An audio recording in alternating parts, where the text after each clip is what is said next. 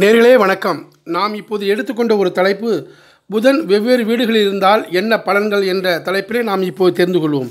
அதாவது புதன் லக்கணத்தில் இருந்தால் வசீகரமான தோற்றம் புத்தி மதுரமான வாக்கு நீண்ட ஆயுள் புராணம் இதிகாசங்களில் ஆர்வம் போன்றவர்களை ஏற்படுத்தி வாழச் செய்யும். இரண்டாம் வீட்டில் இருந்தால் தனம் வாக்கு சாதுரியம் கவிதை எழுதுவதில் வல்லுனர் சாத்வீமான தன்மை இவைகளை கொடுக்கும். மூன்றாம் வீட்டில் புதன் இருந்தால் தைரியம் பிரயாணங்களில் ஆர்வம் தந்திரத்தில் நல்ல அறிவு இவைகளை கொடுத்து வாழச் செய்யும்.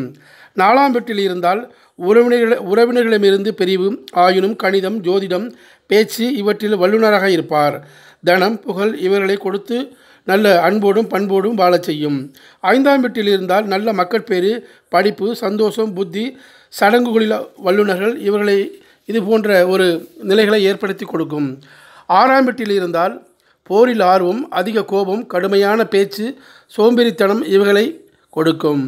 ஏழாம் வீட்டில் புதன் இருந்தால் புத்தி அறிவு கலைகளில் வலிமை உயர்ந்த புகழ் சண்டை போடும் போடும் நிலைமை மனைவி வாழ்க்கை துணைவர் அல்லது துணைவி இவர்களை கொடுத்து அன்போடும் பண்போடும் வாழச் செய்யும். அதேபோல் எட்டாம் வீட்டில் இருந்தால் புகழ் தலைவராக தகுதி ஆளும் சக்தி நீண்ட ஆயுள் தனம் பலவித குணங்கள் இவைகளை கொடுத்து கொடுக்கும். ஒன்பதாம் வீட்டில் இருந்தால் அறிவு படிப்பு புத்தி கூர்மை பேச்சில் வல்லுனர் தனம் தாராள குணம் இவைகளை கொடுக்கும். பத்தாம் வீட்டில் இருந்தால் எடுக்கும் எல்லா செயல்களிலும் வெற்றி ஆனந்தம் புத்தி அறிவு படிப்பு தனம் தானியம் இவைகளை கொடுத்து வாழச் செய்யும். பதினொன்றாம் வீட்டில் இருந்தால் புத்தி தனம் படிப்பு புகழ் நேர்மையான நெறிமுறைகள் சந்தோஷமான அனுபவங்கள் இப்படிப்பட்ட வாழ்க்கையை கொடுத்து வாழச் செய்யும்.